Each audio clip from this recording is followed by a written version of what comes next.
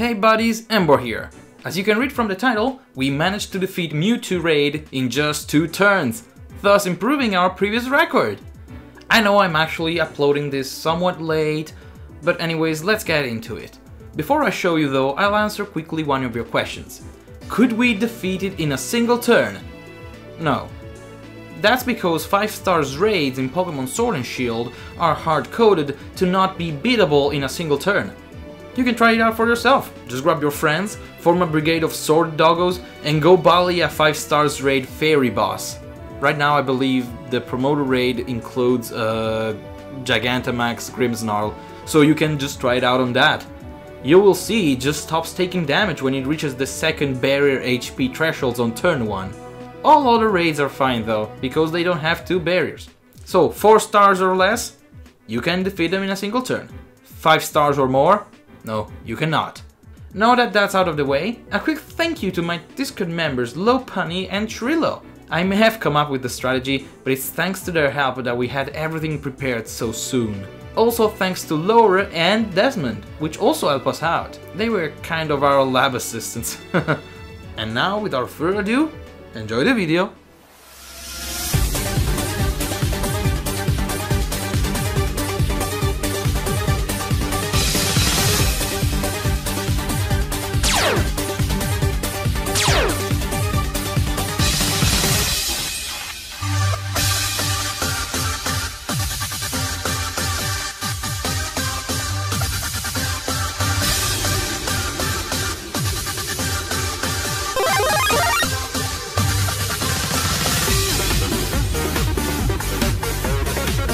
Do it again.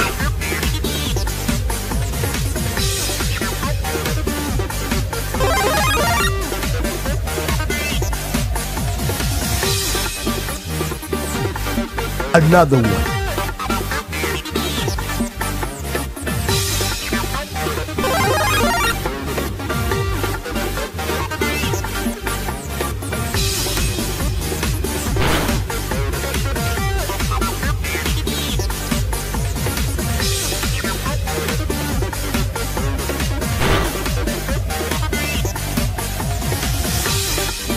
Oh no.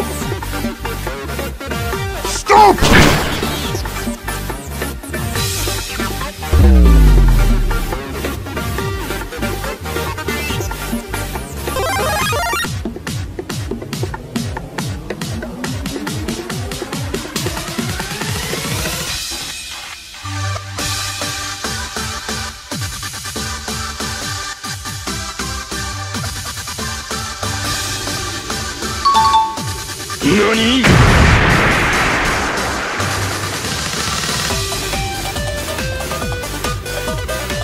Another one. Stop!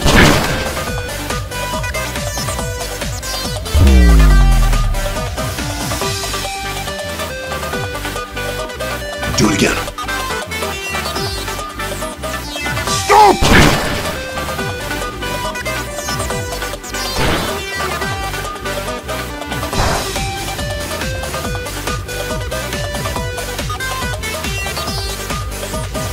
Oh no!